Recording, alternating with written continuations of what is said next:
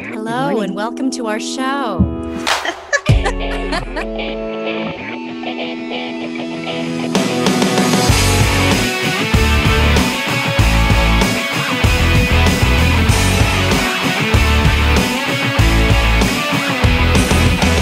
There you go with your big bad self. Hey guys, good morning. Good afternoon and good evening. Welcome to the All Things My-Dee. Show. I'm Mylin. And I'm Dee Dee. Welcome back, guys. It's awesome to have you back with us for episode four. Wow, episode four. We're about to introduce you to our very first guest. It's very exciting. Yes, we're here with a guest. This lovely lady uh, was in the Mickey Mouse Club with us. She was actually one of three members to start from the very beginning, uh, the, Mm. from the pilot all the way uh, the seven seasons. She was in all seven seasons of the show. Star of stage and screen, TV, film, you name it. Broadway. She's an amazing, multi talented phenomenon and hilarious to boot.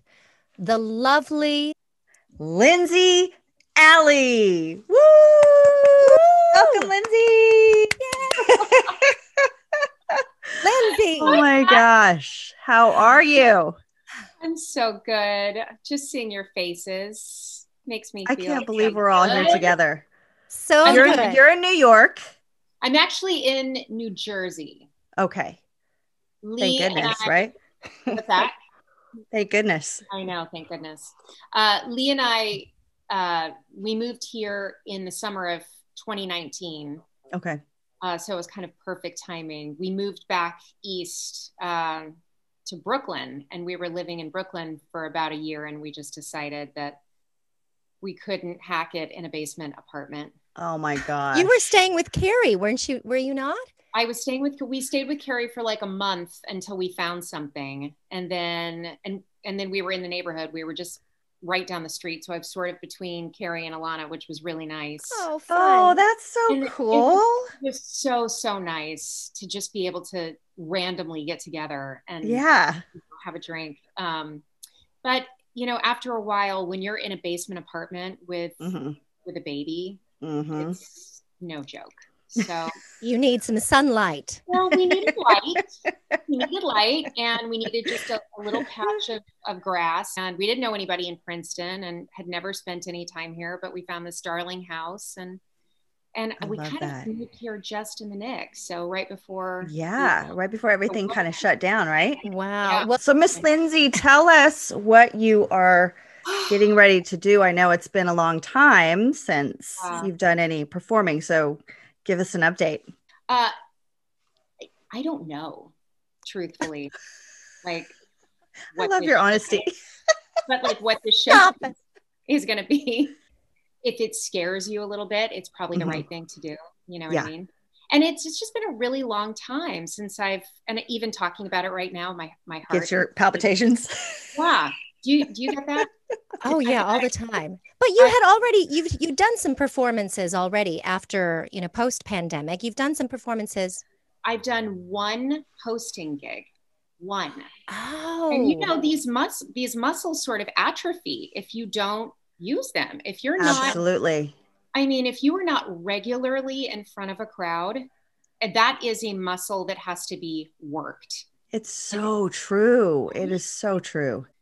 And I thought, well, I don't want to do the same show I've been doing, and I, I'm scared to do like a whole brand new thing. So I'm sort of doing, I'm just dipping my, I'm going into the shallow end with some new material. So I have the safety net of, of like some tried and true stuff, and Yes. then some, and then some new songs and some new pandemic stuff. hmm So I, I don't know. I'm working on it. I have no idea what it's going to be. I'm not worried one bit. If it's Exactly. like I'm glad you're not. Oh, oh my gosh. Oh my gosh, you were amazing at MMC 30. Amazing. Our reunion. Amazing. You're so sweet. You're so, So- sweet. That, but you know, it it helps when there are like a thousand wonderful Right. fans. Like, wanting you to do well, you know. So that that you know the the, the energy ah. was supportive. I felt great. Oh, if I could be in the audience of every performance of yours, I would be. I am such a fan. You are the best. I'm going to call you before this show so you can give me a pep talk. Oh, stop. and I'm having You don't. diarrhea. you know, it's, it's weird. It's like I've done it a bunch. You know, this isn't like my first rodeo. Like Right. I, this is kind of something I do, and I, I, I've done it a bunch, and yet every time feels like the first time. Every time feels like the most important performance of my life. It's terrifying. I think I think that it, as it should be. I think that every performance should be or, or at least give you that sense of like those butterflies, you know, that I think that's a healthy nervousness. You know what I mean? It's more it's more of excitement, you know. I, well, that's what they say. They say that excitement and nerves is the kind of go hand in hand. Yeah. yeah it's this they do the same thing in your body but this isn't butterflies this is like cicadas this is like You Do push it. through and then within a minute or two you're just like settled in. Like does it is that what it feels like you get kind of settled in once you've been up there for a little bit? yeah i mean like i don't think my i don't think my sphincter ever relaxes So, like I, I go up there and I I do think after about the first two or three minutes there is a there after you get through that opening number Yeah. like if you can get through the opening number that's like your first triple axel the sh- the sh- the sh- the the the sphincter relaxes a bit. yes but it, it is like it's like a long form skate Well, you settled in so well at MMC 30 reunion. I mean, you were just like owning owning the stage. And you could tell you're like Yes. kind of taking your time, right? Like, all right, let me just milk this a little more, you know. it was awesome. And I know you're gonna do so great at the show mm-hmm. and just, you know, just trust that because you know that you are able to do it well and you've proven yourself. And and you know, even if you mess up, so what? Right? Show goes well on. now i think that is the joy of being a little bit older I, I obviously we all want perfection in our lives all the time that is just not real i mean that's just i don't know maybe maybe everybody doesn't want that but it, it's something I, i've had to work on overcoming through the years Mm. but but i'm letting myself off the hook more and more in terms Mm-hmm. of perfection because when i see shows my favorite moment is is kind of when things don't go as planned and Mm. and the singer performer is real about what's going on and then you feel let in on something yes. and so now i just sort of if i do screw something up which invariably i will i usually just call it out and go well nobody knows the words to that song yet fine fine it's totally fine I, I I love I love those moments. I love too. that. Exactly. I love that too. It just shows Yeah. you're vulnerable, you know, and you're They're honest. real people. They're re- Yes. real people. that's Exactly. right cabaret artists are just like us Exactly. Now, does Um, Lee Lee go with you to when you your Lee? By the way, is your husband? Yes, who's walking through the kitchen right now. I I'd have him come over, but he's wearing the zoomiest Zoom outfit ever. he's got he's got come over here so they can Come see. on over, Lee. Come on, over. Lee. Like, this is the epitome of a Zoom outfit. I'll do the top half. Oh yes, nice, Hi, nice. All oh. right. Oh, yes. I went for checks in a big way today. Hi, ladies. Thumbs up. Nice to see you, Lee. Good soon. And your Zoom outfit. Yeah, I love it. That's awesome. Does he have meetings today? Do you have Yes. meetings? Have lunch. Important one. I've got to go downstairs and have one Yeah. in uh, six minutes. I mean, he is supporting our family in this outfit. I love it. Trousers. You do you, Lee. That's right. It feels authentic. Absolutely. That's all we want. Authenticity. Oh, oh, there's a lot of that going on here. Lindsey, how did you meet? How did you and Lee meet? At a bar on a blind date. Okay. like you do. Actually, I was I was waiting tables in Santa Monica and I was lamenting to my my boss one night about, you know, some wacky dates I had been on, some online dates, and he was like, "You have to meet my friend Lee. Like, what are you doing on Wednesday night?" I said, "Well, I don't know." He's like, "Well, you have a date with Lee now." I said, "Don't you want to call Lee and make sure he's not, you know, shagging anyone else?" um, and then we met, and it was it was the day after Valentine's Day, and we met at the Daily Pint in Santa Monica, and we got married less than six months later. Oh my goodness. Wow. It was love at first pint. It, I see what you did there. I see what you did. It, it was a bit extreme. I mean, I think our family and friends were a little, A little bit shocked. yeah, they were a little shocked. Um, and there were a few interventions like, Uh-huh. are you sure? Are you Uh-huh. sure? And my brother making the jokes of, well, you know, maybe Lee can join us for Christmas and tell us his last name, you know? Like, Oh, dude. I, you know, looking back, it is crazy, but it seems so appropriate for us at the time. But I think also after having those interesting dates prior to, you kind of already know what you're looking for, what you want. Mhm. You know, why Yeah. waste any more time? I agree. and, you know, I was 34. And I think when you're Mhm. just a little bit older and wiser and like you know about Yeah. a nice head of cauliflower, you just know. Well, you had you had told one joke at uh, the MMC 30. You said something about um, teeth in in the English. that's well, that's going to be in my show. I can't give away, Oh, I can't give away all that good stuff. Cut that I- out. Cut that out.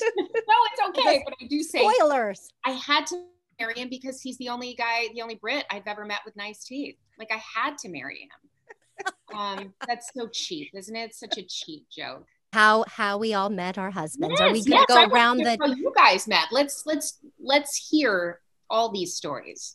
I, Lynn? I. I oh, you I- want me to go next? Sure. Oh. Okay. Uh, let's see. Zane and I met at a church retreat, and and he hates when I tell this story, but uh, you know, I don't know. It's funny about the guys. They're always like, ah, don't you know, don't tell that story. But I always get a kick out of it because it makes them kind of embarrassed. So um, he was totally hitting on me at this church retreat, you know, and it was crazy though because I was there with an acquaintance who was my roommate. It- The, the, it was a weekend long retreat, and she was my roommate at the time. And she comes in, she comes in, she was like, Oh my gosh, there's this guy. He's so cute, blah, blah, blah, blah, blah. And I'm thinking, we're here for Jesus. I'm like, we're not here to find anyone. Okay. So I just like, all right, cool, whatever. So next thing you know, on the last day, we have some kind of like a, um an icebreaker type of thing within the the um setting around trying to introduce everybody. You know, we're all a bunch of young people, right? And um I turned around like that and then he was right there and we like locked eyes. like you I do thought- at the church retreat. I I what? What? As Like you do at the church retreat. Oh my gosh. We totally like we locked eyes and i was like oh my gosh that has to be who she's talking about. Yeah. because he just kind of fit the bill and and he came over said hello and i was just smitten you know by just this first chance meeting. Um and then we started dating after that. We've now been married 22 years. So Gosh. i'm glad he i'm glad he hit on me. He asked me for my phone number and i said yes thank you, Jesus. so Miss Deedee, what about you? How did you how did you meet? Oh, Clifton. well, I met my I met my husband Clifton um, doing a little show called Miss Saigon. We were two of the youngest four in the whole group, the whole company, and uh, so while uh, everybody was and and and of the four was Clifton, his best friend Robert, me, and David Cater. So the, we were all 19 years old, uh, and uh, everybody else was, you know, after rehearsal and after shows they were going to the bars, they were going to the pubs and everything. And like we were not allowed. And so we went to go play billiards or went to the movies and hung out and went to the diner. And we just became fast friends. You know, it was me and the three amigos. These, Uh-huh. these guys, they were always looking after me and um, just making sure I got home okay. And, and, uh, and then um, he was in a relationship and I was busy falling in love with my leading man. Um, and, uh, and then, you know, years later, we just kept in touch. We were friends first and foremost, which I love That's uh, cool. about our relationship. But yeah, so it was, uh, it's what they call a showmance, Mhm. Showmance. a showman's. Oh yeah. Um, which a lot of people say, you know, they are just, you know, showmances are discouraged a lot of times. You know, they say, you know, I you bet. you shouldn't, you know, yeah, uh, where you eat. Yeah. yeah. Uh, but uh, but he was in a relationship uh, when we were working together at first, and I was, you know, busy, uh, you know. Oh, Being involved here and there. I know. I know her stories. thank, thank goodness there was there was no Instagram back then. um, but yeah, uh, and then we finally found each other back in New York City. Um, he went to he went off to do Les Mis, uh, the touring company of Les Mis, and I went on to to do uh, Saigon uh, in uh, in on Broadway, and and then he came back to the company, and I was leaving, and and during that time we just kind of reconnected and started dating, and and then they say, you know, as they say, the rest is history, and Mhm. we've been married for uh for 18 years. Oh my Yeah. gosh. Yeah. How long did you guys both wait before you had kids? Ooh, good question. Well, Edie. we I uh we got married, we were 27 and then so we were engaged for a year. We dated for about a year, we were engaged for a year. Uh, and then a year later we had our first son. Wow. Yeah. So it's kind of like, you know, You It- did it it, just in happened. the right order. Right? Gosh, I kind of waited a very long time. And um, I just, I mean, I got married at 23. And Oh, wow. during, I didn't Yeah. realize. yeah, 23. And he was 29. Wow. So, you know, and of course, everyone's like, what are you doing? You're only 23, you know, Right. but when you meet the person that you love and you know that that's the one that you choose to be with for the rest of your life, you know, I mean, like you saying six months, you know, when you, when you choose, You know, so why wait? Yeah. I agree. yeah. I agree. You know in your guts. so we you know we we got married and then um around 30 i said well actually zane was like hey what are we thinking here you know because i was still like no it's all about me i gotta be on the you know it's just me me and um he said we need to just kind of start thinking about it you know you're 30 and and of course it took me like I was like, uh, uh, like to actually make the decision to have kids. Um, because you know, you always think about it like in the back of your head, like, oh, of course I want to have kids, but until you do it, it's like, am I ready? Right. So we we at 30 years old, we decided, okay, let's see what happens. And it wasn't until I was 37 that I was actually able to have my first child. Um, because unfortunately there were a lot of health issues and and things that I wasn't aware of, you know, that you don't know until you actually start trying to have a child. And um, so I ended up having to do IVF and miracle, you know, total miracle. It gave us our first baby, Coco, our first child. When she got to the age of, she might have been three and a half, we decided, okay, it's time to take the other embryos. And it didn't matter how many I had, I knew they were life. And so I was going to put them in, no matter how many there were, um, placed them in, and then we got pregnant with Scout. I got pregnant with Scout. And it was such a miracle because, you know, you you hear stories of like when when they're frozen for so long is it going to take is it not and so he took and he he's here. He's beautiful. They're both beautiful, beautiful babies. It makes, me, it makes me like emotional. It's really Oh, no, it's stunning. It's stunning what what we're capable of and what the human body is capable of. Like it's, yeah. It's it's you know not everyone not everyone is for it you know ivf um there was a lot of prayer that that went into it and a lot of just looking at all sides of it and trying to figure out you know what does this look like? How does this look like? And and i also just as i talked to my doctor i made sure that it wasn't an aggressive um it, it wasn't super aggressive because i didn't want to end up with extra embryos you know like 15 embryos i you know that's that's kind of the the thing. So we took it very moderately and um gosh by god's grace like literally the amount of embryos that it just worked out and and that was scout that was coco and you know here we are today. So it can work for you. You know it's a long other show you know arduous process but but it's a miracle yeah. that I have my two babies. So my long answer took us about probably 14 years Wow, wow, wow. Wow. to get to the babies. Yeah. What Yeah. about you, Lindsey? Um, it's similar feeling, Mylin, in terms of.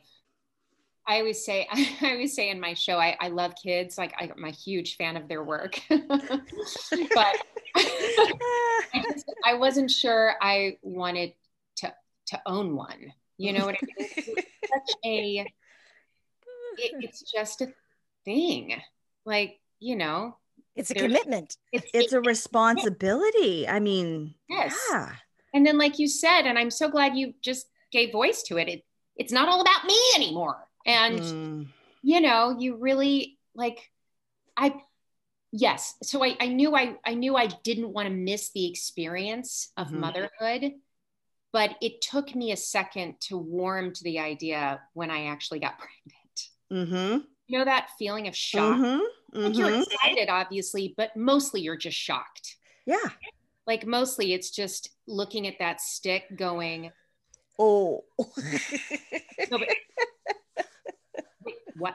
Do- I mean, it is. uh, I just remember. I remember feeling a little. um I don't even know what the word. Horrified, like that. I was going to be responsible for anyone's personality, and and put in charge of anyone's life, and then actually. um so I, I should back up and say that Lee and I weren't trying, but we weren't preventing. You know Mhm. that old trick hmm and um, I got pregnant, and then we went to we went to see the the first um, ultrasound, uh, sonogram, ultrasound. I like I don't know. Ultrasounds. I, I think Both? the same. bro. Yeah, Yeah. both. the sonogram for the ultrasound. Anyway, look, and there was no baby, um, and that was that was our very first time, kind of out to bat. Oh, Uh, wow. the you know when you're in there and the the technician goes i'll just go get the doctor. I'll i'll be right back. Oh, so then the doctor came in and basically said um, this is a blighted ovum which i had no idea what that was but basically your body builds the nest and no baby moves in. So your Oh, body wow. thinks it's pregnant and you can see like we could see like the little you know sac on the screen but there was nothing in it. And so I ended up having to have a D&C, and it was, you know, it was more traumatic on my mom and Lee's mom because they sort of knew, like, you know, and Lee and I were just, we were, we were sad, we were confused, and I actually strangely felt a sense of relief after Mm. that because I felt like, well, okay, I'm off the hook. That was like a strange, you know, dress rehearsal. And and then the hormone thing, like the fallout from that experience was was pretty shocking. Like what it did to my body for 6 months and kind of like the chemicals having to readjust. Wow. But in a way I was really kind of grateful for that experience because it readied my mind for mm-hmm. the Yeah. for the idea that I could be someone's mom. Mm, And I, I really wasn't up for it at that moment. But I was mm. certainly more ready. A, ye- I, I guess it was a year later, exactly one year later, that I got pregnant with Owen. And that was a for real.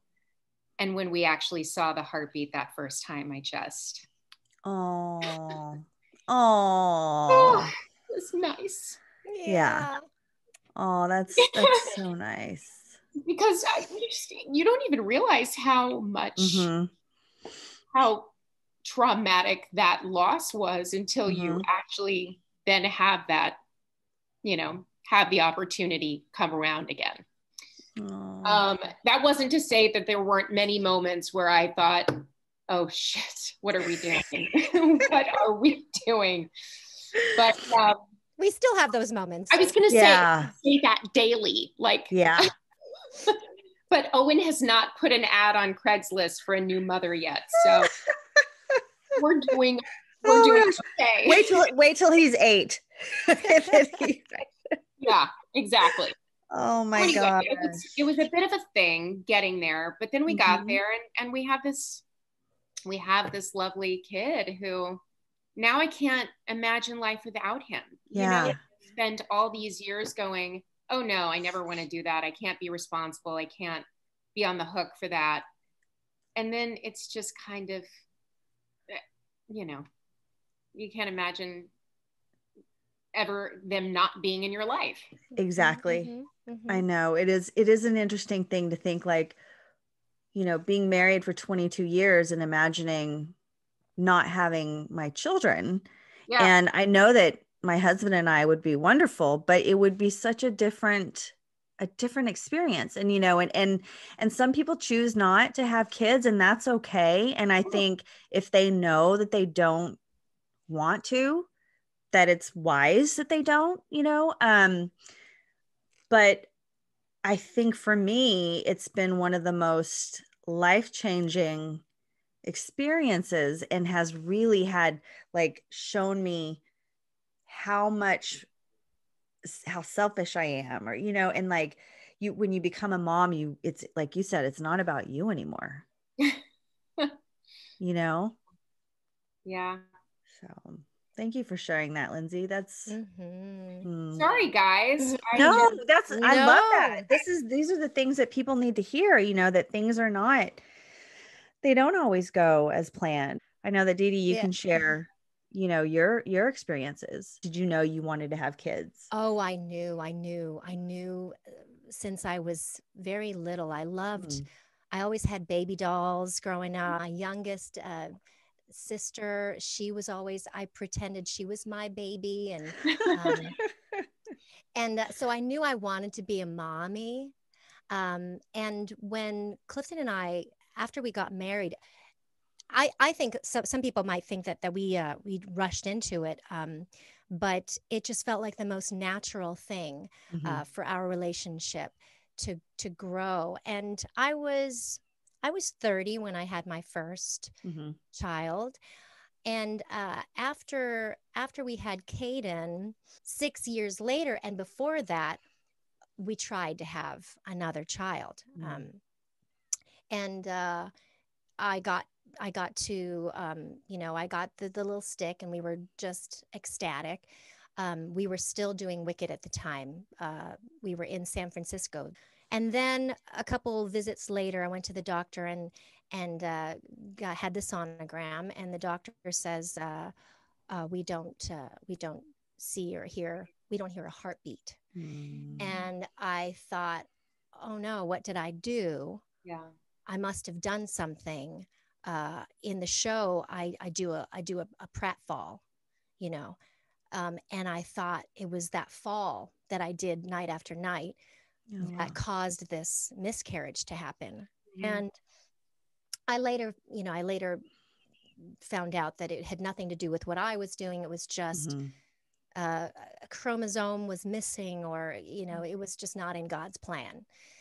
And uh, that was that was hard uh, because I learned then that miscarriage is is way more common than not. Sure. Um, Mm.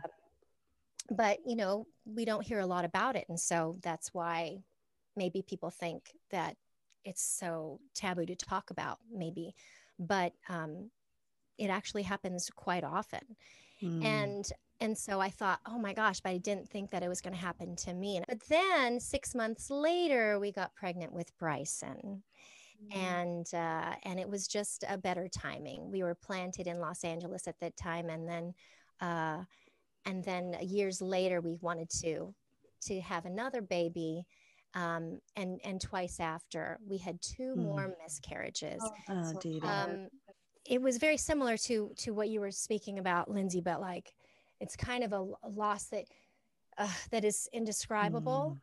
Um, I also had to have a D&C, which um, was really painful in so many different ways, emotionally and physically, and uh, and because because I've never s- spoken out loud about it, whew, oh, Yeah. Dee.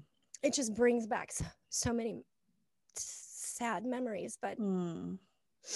um, I have to just look at my children now and just thank God that we have two Mhm. beautiful, healthy boys.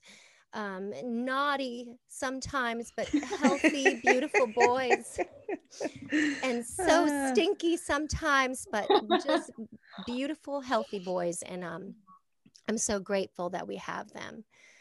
Thank you guys for being so honest about that because I know that that it is kind of a you know keep it quiet kind of thing. And and eh, you know maybe more so from just the pain of it but there's nothing to be ashamed you know and, and you know Deedee you had said that you thought maybe you had done something to have made that happen. And you know I've read things too that say it's it's usually not what a person does. It's Mhm. something chemically within the body that's just not ready to to be able to have the baby you know Mhm, um mhm. so just thank you guys for sharing those stories because I know I'm sure a lot of women will be able to um to relate to that